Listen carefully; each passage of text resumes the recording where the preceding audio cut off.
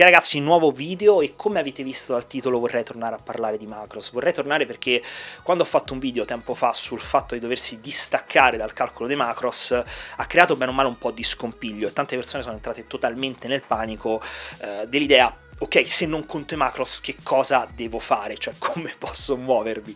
Uh, per cui vorrei uh, cercare di ragionare ancora più a fondo su questo argomento con voi, anche perché molti sono interessati al concetto come posso fare a non calcolare i macros. Il problema secondo me non è tanto capire come si può fare a muoversi senza macros, quanto piuttosto capire perché non ha senso calcolarli. Partiamo da qua, perché è insensato. Voglio calcolare facendovi capire un attimo quali sono le dinamiche che portano a quei numeri che voi leggete per farvi capire quanto siano assolutamente del tutto imprecisi, se non praticamente inutili.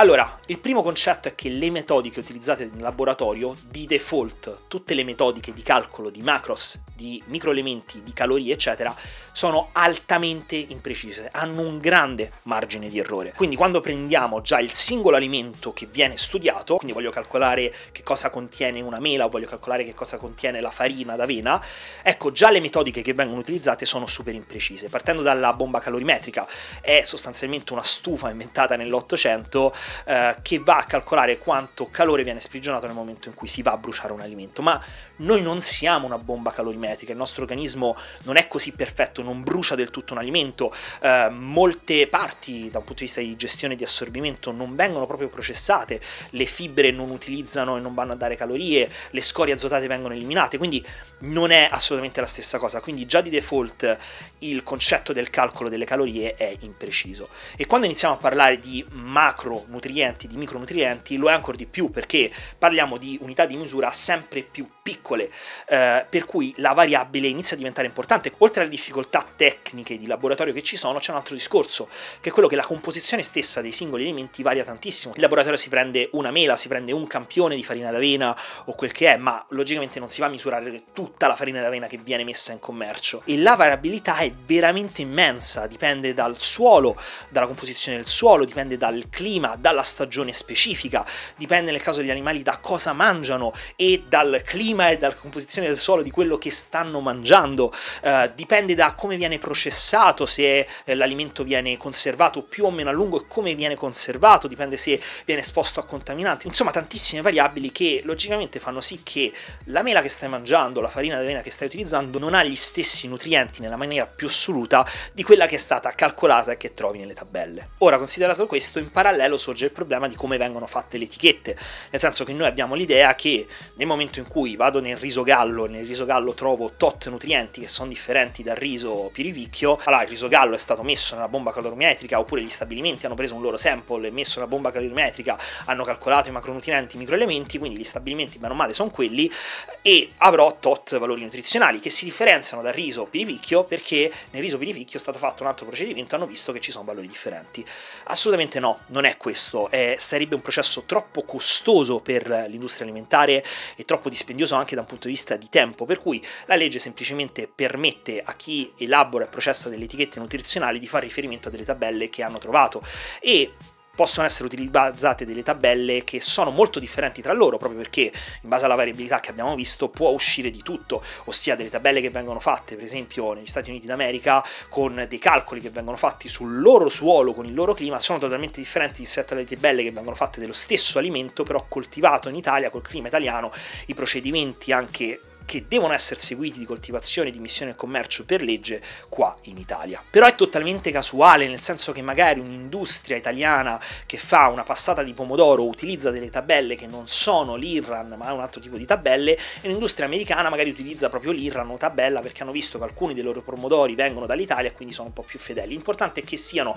delle tabelle accettate a livello ministeriale, quindi anche qua c'è una grande imprecisione. E il fatto di utilizzare delle etichette diverse, molto molto spesso anche con l'aggiunta di prodotti, perché se io faccio un biscotto che eh, contiene della farina di avena, delle uova, eh, contiene delle proteine in polvere, è un biscotto fit proteico, ovviamente tutti questi elementi hanno un loro margine di errore e il fatto che io vada ad unirli insieme e calcolare semplicemente il computo totale, il, la somma totale dei microelementi che trovo, va a moltiplicare in maniera esponenziale il mio errore. Questa è matematica di base, ragazzi, e eh, conseguentemente avrò un errore ancora più grande di quello che avrei utilizzando i singoli ingredienti e cercando semplicemente le etichette nutrizionali. Quindi fino a qua abbiamo visto che i metodi di calcolo dei microelementi, delle calorie e dei macronutrienti sono altamente imprecisi, già di loro. Abbiamo visto che c'è tanta variabilità e la variabilità comporta che c'è un'ulteriore imprecisione perché quello che mangio non è quello che è stato calcolato e in più c'è il fatto che le etichette possono essere elaborate semplicemente facendo la somma dei diverse tabelle che ho utilizzato, dei diversi ingredienti che ho utilizzato e questo aumenta ancora di più l'imprecisione che avrò del mio alimento che vado a mangiare.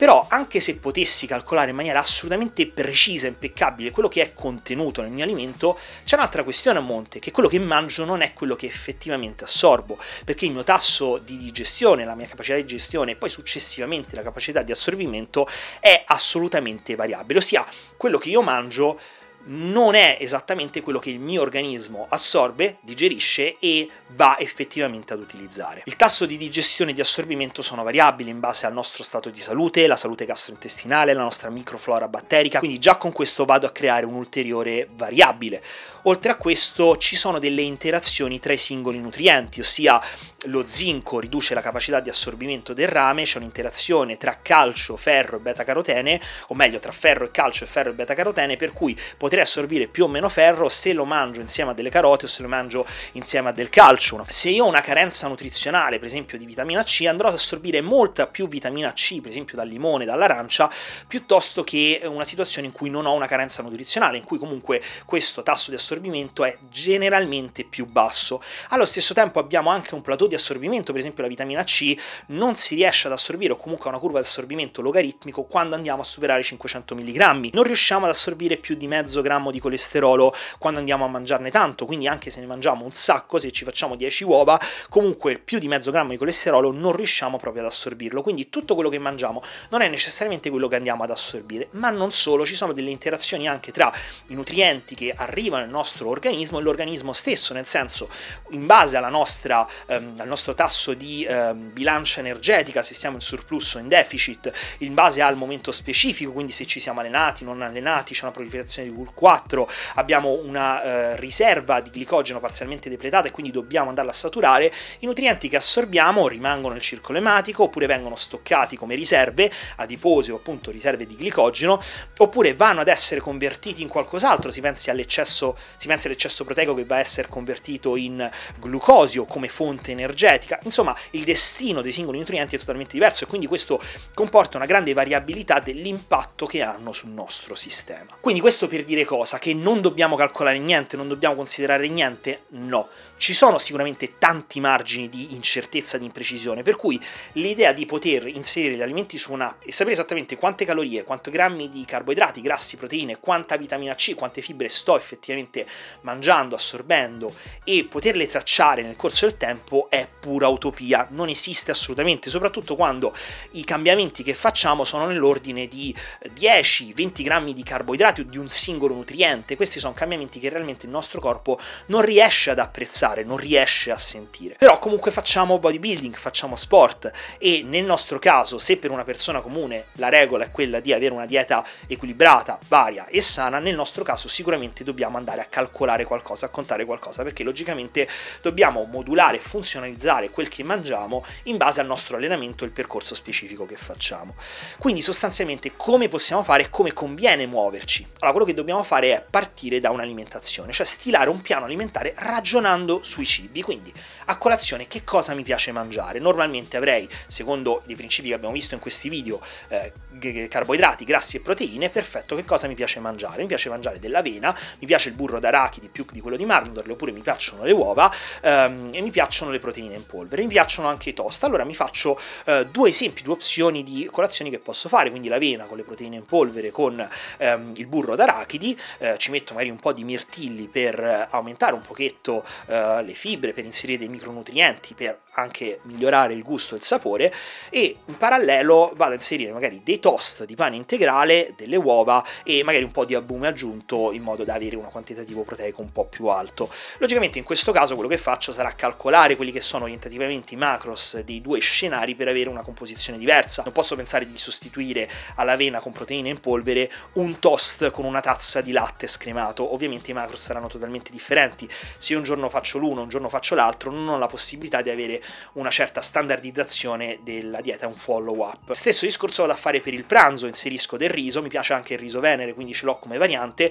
come fonte lipidica tendenzialmente l'olio evo, oppure anche in questo caso utilizzo della frutta secca, eh, posso utilizzare del salmone perché mi piace, posso utilizzare i gamberetti, posso utilizzare eh, la carne magra che mi piace, eccetera, e anche in questo caso vado a fare dei calcoli sulle varie sostituzioni, mi creo in qualche modo delle opzioni diverse che posso andare ad utilizzare. Quindi, per esempio,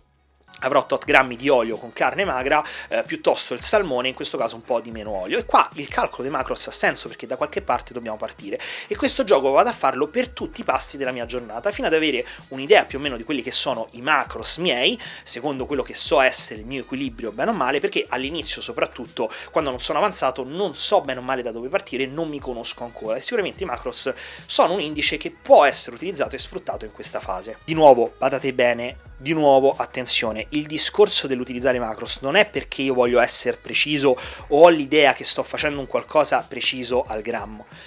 di nuovo, il discorso dell'utilizzo dei macros non sta nel fatto che voglio essere preciso al grammo e devo considerare tutto, ma è più o meno un'indicazione orientativa da cui deve partire, insomma, da qualche parte dovrò pure partire. Quindi possiamo sicuramente utilizzarli accettando che ci sarà un margine di variazione, quindi sicuramente ogni giorno le mie calorie e i miei macros saranno molto diversi, però bene o male stanno sempre là e sfrutto in parte il principio di omeostasi del nostro corpo, ossia che il nostro corpo attua una serie di regolazioni ormonali ed enzimatiche, di nuovo in base a quello che è l'input che gli vado a dare per mantenere la sua meostasi, quindi lui già di sé cerca di tamponare questa variazione andando più o meno a regolarla. Però da qua continuare ad utilizzare i macros nel corso delle nostre settimane, nella nostra fase di bulk di cut e calcolare quanti grammi di carbo devo aggiungere o di quanti grammi di carbo devo scendere per ottenere il mio risultato e seguirlo eccetera è di nuovo follia perché stiamo utilizzando un'imprecisione di base che viene moltiplicata come abbiamo visto all'ennesima potenza da tutta una serie di calcoli che vengono utilizzati per arrivare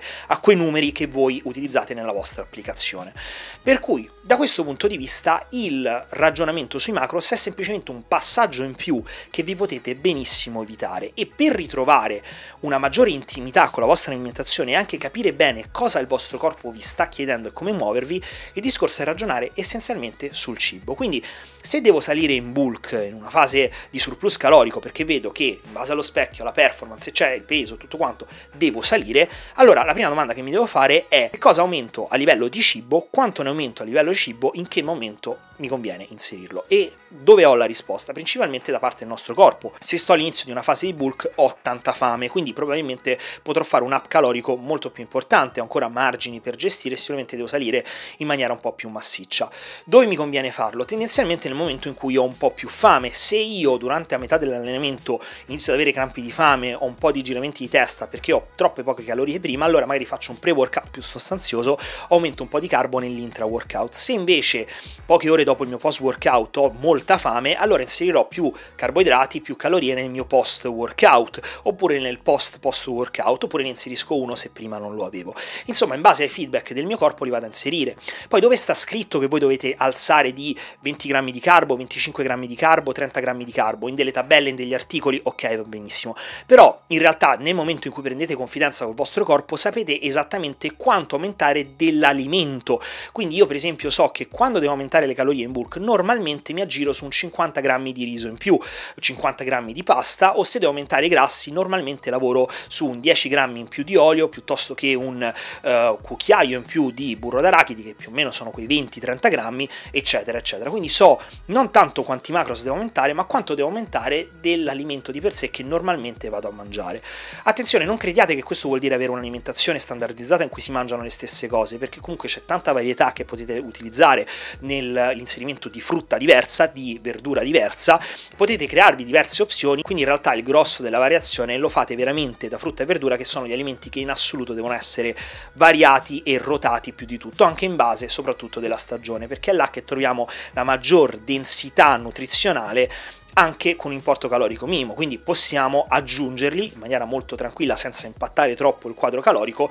beneficiando di tanti elementi e microelementi che ci danno questa varietà nutrizionale. E anche là si iniziano a sopraggiungere dei problemi come mi sento un po' troppo gonfio, allora diminuisco un po' di carne, diminuisco un po' di albume, di proteine in generale e compenso con un filo di carboidrati in più, oppure vedo che sto mangiando troppa verdura o troppa fibra, diminuisco le fonti integrali, magari tolgo un po' d'avena e aggiungo i cereali, insomma cercate di interpretare i segnali che vi dà il vostro corpo, ma di nuovo non dovete ragionare sui numeri di grammi di macronutrienti, ma piuttosto ha più senso ragionare sui numeri di grammi di riso degli alimenti. Questo non perché in nutrizione sia fondamentale contare. Il mio punto di vista è che il non atleta non dovrebbe mai pesare il cibo, ma cercare di prendere affinità con le porzioni ad occhio. Però logicamente essendo atleta dobbiamo pesare, però se oltre a pesare dobbiamo anche calcolare macronutrienti, ovviamente è una fatica in più che non ha assolutamente senso perché è un'illusione che noi ci creiamo che stiamo seguendo e mangiando determinati macronutrienti, ma così non è. Quindi ragazzi, questo è un po' il punto della situazione. Di nuovo, fatemi sapere vedere se il concetto bene o male passa, se vi manda nel panico, però posso capire che all'inizio è difficile perché siamo molto legati ai macros, però vi assicuro che nel momento in cui vi staccate e ragionate soltanto sul cibo, gli alimenti, allora imparate a conoscere quello che il vostro corpo vi richiede e in un attimo entrate in un mindset in cui sono gli alimenti che contano e i macros non vi importa più sapere quali sono, ok? Quindi questo è un discorso molto importante, dovete prenderci la mano. All'inizio è spiazzante, però in un attimo ci prendete la mano. Perché molti di voi mi hanno detto che vorrebbero fare questo passaggio, ma non sanno bene come muoversi. È veramente, veramente semplice. Ed anzi, è assurdo che uh, vi sentiate a disagio da togliere un'imposizione come quella del dover calcolare tutti i macros. E logicamente il discorso della variazione non l'abbiamo fatta parlando generalmente della dieta, uh, meno male, sana dei bodybuilder, ma pensate a chi utilizza alimentazioni come l'Ifit Fit Your Macros, in cui tutti gli alimenti sono processati risultati, là il margine di variazione è veramente abissale e state semplicemente sparando a caso. Magari pensate di stare a 400 grammi di carboidrati e state benissimo a 550. Non sono rari i casi in cui eh, queste situazioni sono state viste o noi le abbiamo viste con atleti che arrivavano con tutta la loro tabellina, questi sono i miei macros, questo è quello che mangio, io andavo a riportare le cose nelle tabelle che utilizziamo noi, che sono semplicemente tabelle diverse, né giuste né sbagliate, e mi uscivano un delta veramente di 100 grammi di carbo in più o 150 in più. Fatemi sapere quindi che cosa ne pensate, scrivetelo uh, qua sotto, uh, come al solito scambiamo un po' di opinioni, e detto questo io vi rimando al prossimo video.